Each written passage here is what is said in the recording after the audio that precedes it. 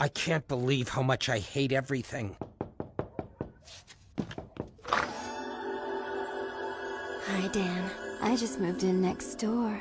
I'm a supermodel. I don't care who the Italian Senate sends, I am not paying taxes.